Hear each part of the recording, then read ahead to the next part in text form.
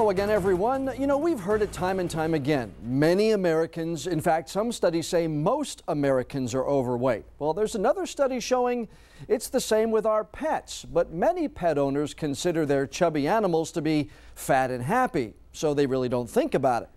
Well, you probably should. New at 5:30 tonight, WECT's Christy Ondo with an exclusive report that shows just how harmful it can be to have a fat cat. Christy? Yeah, John, when I heard that a National Association for Pet Obesity Prevention was located in Brunswick County, I thought, well, that's something I didn't know. And then my first question was, what's the big deal if a pet is a little overweight? Well, Dr. Ernie Ward is the leading expert in this field, and he sure answered that question. We should have seen it coming. We're getting fatter and fatter, and now so are our pets.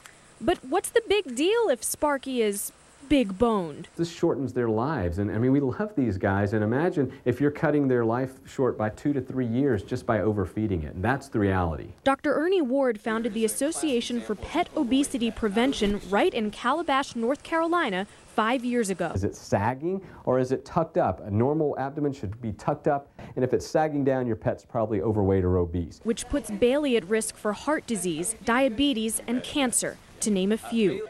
In fact, obesity is now the leading cause of death in our furry friends. Speaking of which, my fiance has a 25 pound cat. How much of a problem is that? Wow.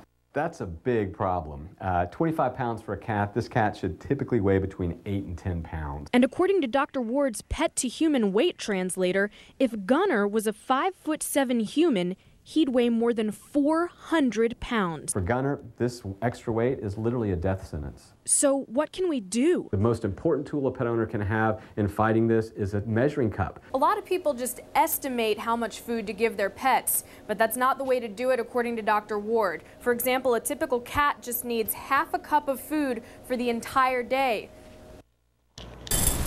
It doesn't look like much in a big bowl, but that's all you need. Fido doesn't need the sugar and extra calories any more than you need a king-sized candy bar.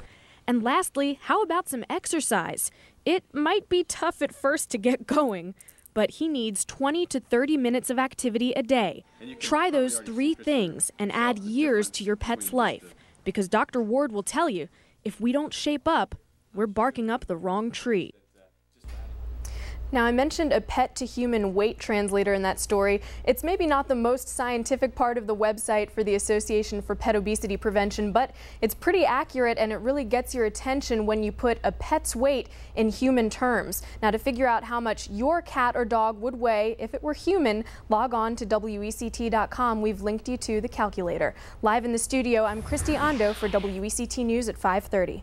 A great story, Christy. Thanks. Let's hope a lot of people go to that site. Make sure your pet is in shape just like you are.